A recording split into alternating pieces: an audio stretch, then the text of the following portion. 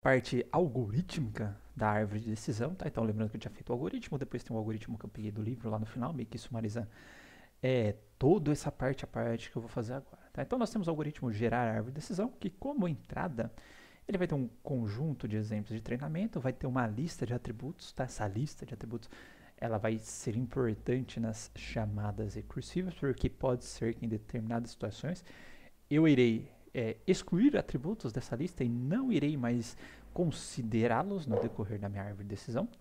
E é, isso é mais recente, tá? eu mexi muito tempo com ECA e com outras bibliotecas, é, não tinha essa profundidade máxima. Hoje em dia, é, vários algoritmos eles fazem uso dessa profundidade máxima. O que, que é profundidade máxima? Lembrando que a profundidade é o, o, número de passos né, de um nó até a raiz. Então eu não vou deixar que essa árvore é, tenha é, sei lá, por exemplo, mais que 10 níveis para não ficar uma árvore muito grandona. Tá? E a gente vai até entender se, o porquê que eu não deixaria essa árvore ficar tão grandona na hora que a gente for chegar aqui na parte da poda. Mas enfim, coloquei aqui, complementei, porque não tinha antes, mas o próprio Scalearn já considera isso daqui e outros, vamos dizer assim, pseudocódigos mais modernos também estão considerando, tá? E o final desse algoritmo, obviamente, vai ter como saída uma árvore de decisão. Tá? Essas são as entradas e saídas. Aí a gente vai é, começar tá criando um nó N e, e que nó é esse, tá? Ainda não sei, isso vai depender de alguns critérios aqui, tá? Por exemplo, é, se eu chegar, tá? Tiver, lembrando que isso daqui vai ser chamado recursivamente. Para cada divisão, eu vou chamar esse algoritmo de árvore de novo, tá? Então é divisão e conquista e recursivo. Não sei se eu tinha mencionado isso anteriormente. Bom, uh, aí vai chegar lá um exemplos, tá? Pode ser do, inicialmente, vai ser do conjunto de dados, mas depois para cada uma das partições. E se por acaso esse conjuntinho de exemplos que eu recebi só tiver uma classe, beleza, eu vou gerar um nó, certo? Só que esse nó vai ser um nó folha com a classe C, ok? Que nem a gente tinha feito, não está aqui, ele está aqui, que nem a gente tinha feito aqui, né? Tinha gerado uma partição, certo? Aí é como se eu tivesse chamado o algoritmo recursivamente, a gente vai ver essa parte lá embaixo, por uma partição e depois para outra. Aí vamos assumir que chegou essa partição lá para o algoritmo. Tá? Bom, se todo mundo da partição é da classe bolinha, o que, que eu vou fazer? Ó? Eu vou criar um nó, folha, cujo rótulo do nó é o rótulo da classe daquela partição pura. Ok? Então, ó, tinha feito a escolha da divisão, a gente vai ver essa parte da escolha, né? Mas enfim, aí é como se eu tivesse gerado essa parte, mas que está lá embaixo do algoritmo, porque a hora que eu entrei eu já estou analisando o critério de parada. E aí, se a partição é pura, tá? Eu vou gerar um nó folha rotulado com os exemplos da classe. Né?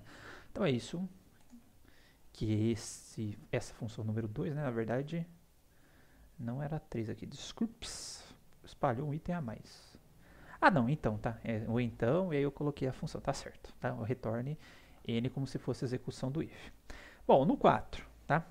Se a lista de atributos estiver vazia, tá? Porque a gente vai ver que em determinadas situações, tá? Eu vou tirando atributos da lista quando eles forem exauridos, tá? E aí eles não voltam mais. Isso vai ser o caso dos atributos nominais, tá? Então perceba o seguinte acho que nesse exemplo anterior eu tinha atributo nominal, né? Aqui é a altura, altura alta, média e baixa, certo? Para esse exemplo aqui. Quando eu faço isso, eu tiro a altura do meu conjunto de atributos. Por quê?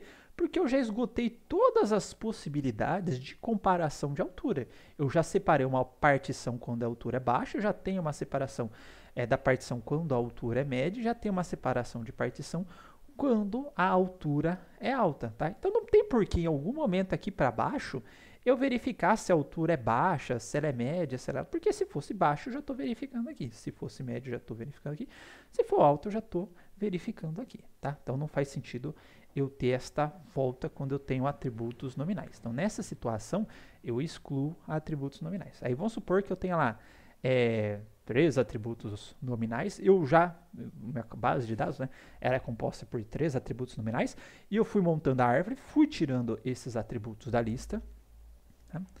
E aí chegou uma situação em que a minha lista de atributos ela está vazia. Né? Não tem mais atributo para escolher. Mas minha partição também não é pura, ela está misturada, como seria este exemplinho aqui embaixo. Tá? Então, nesse caso, não tem mais como fazer divisão, porque não tem mais atributo e fazer testes em cima de atributo. Eu vou gerar um nó folha também, tá? E esse nó folha, ele vai ser rotulado com a classe majoritária, tá? Perceba que não é puro nó, tá? Mas eu vou ver, ah, tem mais verdinho e amarelinho. Ah, tem mais verdinho, então vou rotular ele com o nó verdinho. Tá?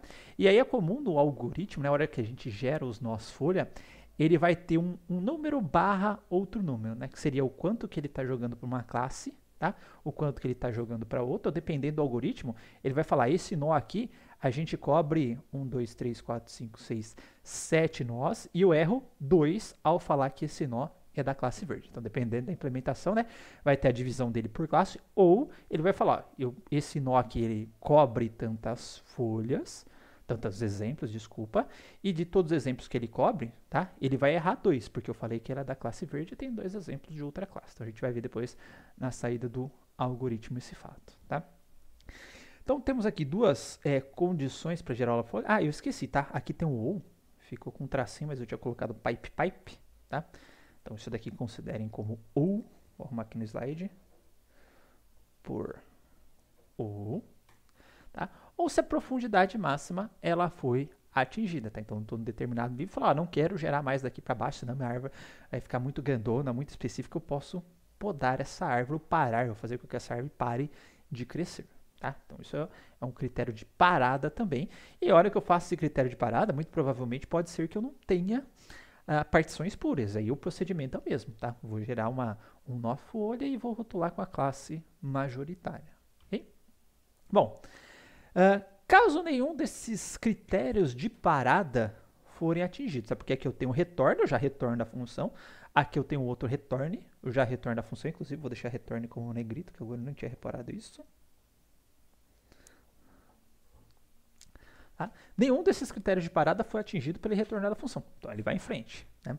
Se ele for em frente, aí ele vai aplicar um método de seleção de atributos. O que, que significa isso daqui? Tá? Que tem como entrar o conjunto de dados atual e a lista de atributos. É justamente esse procedimento. Opa, deixa eu pular para o próximo aqui que a gente tinha feito aqui, tá? Eu vou analisar os atributos, tá?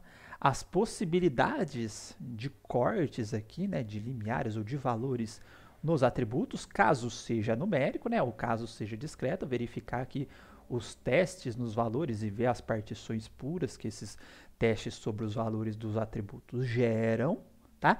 E vou retornar qual que é o melhor atributo para ser escolhido num determinado momento, tá? E qual vai ser o teste em cima do atributo. Então, na hora que a gente é, foi gerar essa árvore de decisão aqui, o que, que a gente fez? A gente foi analisando atributo 1, atributo 2, né? Como é numérico, a gente foi é, fazendo chutes aqui, mas a gente vai ver um procedimento um pouco mais eficiente que esse chute. Mas enfim, vamos assumir que é chute por enquanto. E eu descobri é, que o atributo 1, ele era capaz de me gerar, aplicado, né? Desde que o valor do atributo 1 fosse maior ou igual a x1 menor ou igual, desculpa, e maior que x1, tá? ele ia me gerar as partições mais puras naquele momento. Né? Não é totalmente puras, mas eram as mais puras. Tá? Era a melhor partição que eu tinha no momento. Tá? Então, esse processo aqui de seleção de atributo que está no slide é justamente isso daqui, tá? que vai visar encontrar o melhor critério de divisão. Tá? Então ele analisou aqui, ó, falei, eu tenho esse critério de divisão aqui 2, eu tenho esse critério de divisão 1, um, tá? E aí qual que ele escolheu aqui? Ele escolheu o critério de divisão 2, ó, que é o que me gerava partições mais puras possíveis, ok? Bom, dado que eu encontrei? A partição mais pura, tá? o critério de divisão mais puro, que é o atributo e os testes no atributo, aí o que, que eu vou fazer? Aquele nozinho n que eu criei, que não tinha nada, e não foi criado folhas para ele, né? Eu vou rotular esse nó com o atributo, nesse caso aqui o atributo característica 1, que corresponde ao melhor critério de divisão. Então, como se eu tivesse criado aqui, ó, o característica 1, né? faltou só um passinho aqui, no meu pseudocódigo, que é, que é criar os ramos aqui também com relação aos testes do valor do atributo. Eu acho que... Ah, tá, não, tá, tá depois, tá? Mas enfim, eu vou criar esse nó e vou rotular aqui como característica 1, que é o caso aqui, que é a característica que representa o melhor critério de divisão até aquele momento, tá? E aí é o seguinte, ó, se o atributo de divisão que eu selecionei aqui, ó, no meu método de seleção de, de atributos, na verdade é o critério, eu coloquei critério, na verdade é o atributo, né? Vou arrumar também.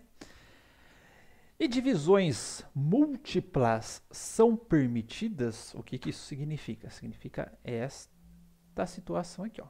Divisões múltiplas são permitidas, tá? Que é onde eu esgoto todas as possibilidades de valores do atributo. Porque aqui se eu tenho essa possibilidade combinada, né, se tem um conjunto, mais para frente eu posso tentar ver se cor é verde ou azul posteriormente. Tá? Então existe essa possibilidade também. Né? No caso, se eu já estou exaurindo todos os valores de atributo, tá? aí eu vou excluir aquele atributo da minha lista de atributos. Tá? Então é isso que ele está falando aqui. Ó. Uh, se o atributo de divisão é discreto, né? Pode ser nominal, ordinal ou binário, tá? E múltiplas divisões são permitidas, ou seja, criar ramos para todos os possíveis valores, que é exatamente o caso que a gente fez. Aqui com a altura, tá? Eu vou pegar e vou... Opa, fiz a troca errada aqui. Tá? Vou excluir aquele atributo da minha lista de atributos, ok? Então ele não vai ser considerado depois novamente da minha árvore, tá? Perceba que quando é numérico, vamos voltar aqui, por exemplo, depois, ó. É, por exemplo, o peso. O peso apareceu aqui, o peso apareceu aqui, depois o peso apareceu aqui embaixo, tá? Por quê? Eu não exauri, ou é difícil você exaurir todas as possibilidades do atributo numérico, porque aqui, ó, ele é menor que 3. Pô, mas menor que 3 pode ser um monte de coisa. Inclusive, em algum momento eu posso considerar se ele é menor que 3 e maior que 2, por exemplo, tá? Ou se ele for menor que 2, ele pode tentar depois ser maior que um outro número, tá? Ou se ele é menor que 3, eu também posso verificar se ele é menor que um outro valor que é menor que 3, tá? Então é difícil você esgotar essa possibilidade de cobertura dos uh, valores numéricos, tá? Então normalmente o atributo numérico ele não vai ser eliminado, tá? Nem atributos, tá? Que são discretos, mas que eu não esgotei todas as possibilidades. Nesse caso aqui da altura, por exemplo, eu esgotei todas as possibilidades. Então, eu excluiria a altura do meu processo, tá? Voltando para cá. E aí é o seguinte, tá? Eu escolhi o atributo de divisão, tá? Eu vou ter as divisões do atributo, que seria esse caso aqui, ó, menor ou igual a x, ou maior que x, ou se for aqui, no nosso exemplo, né, é discreto, baixa, média, alta. Então, para cada uma dessas divisões aqui do atributo, ou testes em cima do valor do atributo, que a gente viu que geram partições no nosso conjunto de dados. Voltei para cá. Tá? A gente vai ter um conjunto DJ, tá? que vai ser uma partição dos exemplos de D que contém o critério de divisão J. Ou seja, tá? hora que eu fiz aqui, ó, peso menor que 3. Tá? Então, peso menor que 3 é como se um DJ pegar o laser aqui para poder riscar. Se isso daqui fosse um DJ e essa parte aqui fosse outro DJ, tudo bem? Se eu estou aqui, ó. Opa, não é aqui não, é aqui. Tá? Hora que eu fiz atributo 1 menor ou igual a x. Então é como se x1, né? Então como se essa parte aqui fosse um DJ e essa parte aqui, essa partição, fosse outro DJ. Tudo bem? Então seria um DJ, né, um D1, né, que eu tenho duas partições, e o D2. E aí, para cada uma dessas partições, né, que vai ter um, um loopzinho aqui? Então, para cada J do meu critério de divisão, ou seja, para cada uma dessas partições, a gente vai gerar o subconjunto DJ, que atenda aquele critério de divisão, tá? E se por acaso ele não estiver vazio, vai ser difícil estar vazio, tá? Mas a gente vai ver aqui. Se ele não tiver vazio, tá? Então, a gente vai atribuir, ou melhor, desculpa, aqui está vazio, né?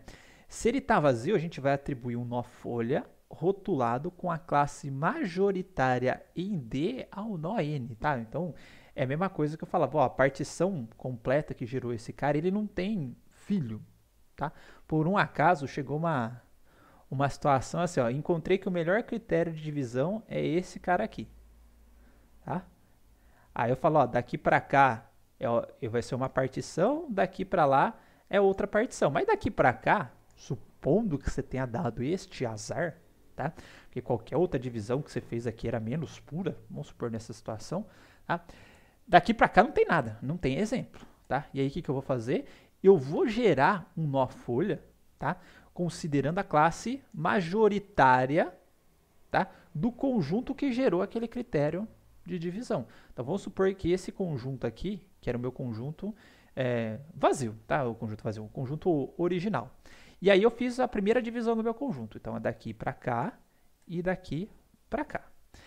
Uh, aí daqui para cá não tem nada. Então eu preciso atender aquele critério. Eu vou rotular, vou criar um nó folha, vou rotular com a classe majoritária. O que é a classe majoritária? Tá? É a classe que tem o maior número de exemplos dentro do conjunto de dados, tá? Ou, no caso da árvore, dentro de uma determinada partição que originou estas subpartições. Supondo que, nesse momento, minha partição era essa daqui, todo o meu conjunto de dados. Qual que é a classe majoritária? Ah, eu tenho mais x, que bolinha. Então, a classe majoritária é o x. Então, criaria um nó folha, tá? Colocando o x como rótulo do nó folha, tá? Caso contrário, minha partição não está vazia, aí o que, que eu vou fazer? anexe o nó retornado, ou seja, não tem um nó, mas que vai ser retornado para mim, que vai ser gerado pelo gerar árvore de decisão, que é justamente esse algoritmo aqui. Então, aqui que finalmente veio a chamada recursiva. Só que agora eu não vou passar mais meu conjunto, eu vou passar só o DJ, que é uma subpartição do meu conjunto de dados, que atende ao critério de divisão J. Tá? E aí eu vou, obviamente, fazer o processo. Se for na folha, eu vou retornar nó folha e aí eu vou anexar esse nó folha ao critério, né? No caso aqui, anexaria a essa divisão aqui, tá? Se não for o nó folha, né? Aí a gente vai esse procedimento vai ser feito de maneira recursiva até você atingir o critério de parada, que são esses dois aqui. Ok? Então esse é o nosso algoritmo para gerar árvores de decisão. E aqui tá. Opa, não tá aqui não. Aqui eu fui fazendo um passo a passo, ó. Então, eu gerei a primeira característica, então, então é essa e essa. Aí eu vou chamar, ó, gerar árvore de decisão nessa e gerar árvore de decisão nessa daqui.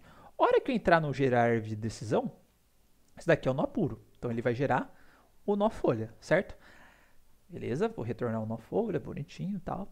Depois vou aplicar nesse cara aqui. Esse cara aqui não é puro. Tá? Aí o que, que vai ser feito? De novo, né? voltando aqui no algoritmo, ó, não atender os critérios de parada, supondo que eu não limitei a profundidade, né? o, o nível. Aí ele vai encontrar novamente ó, qual que é o melhor critério de divisão. Que é isso que ele está fazendo aqui. Achado o critério de divisão, ele vai gerar árvore nessa partição e vai gerar árvore nessa partição. Tudo bem? Aí aqui vai gerar um nó folha e aqui vai gerar um nó folha também. Beleza? E como eu disse para vocês, aqui no final, tá?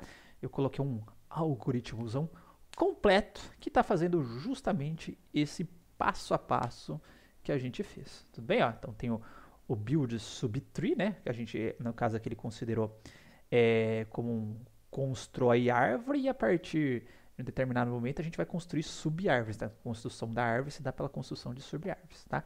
Então, basicamente o que ele vai fazer ó, é chamar, é, atribuir ou criar um nó árvore aqui, né? Que vai ser gerado pelo build subtree, passando todo o meu conjunto de dados e toda a minha lista de atributos. E obviamente que o nível do meu nó raiz, né, no primeiro nível, é, é zero. Estou né? começando a construir ali. Tá?